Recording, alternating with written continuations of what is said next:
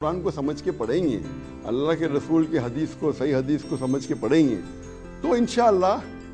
majority of the problem will be solved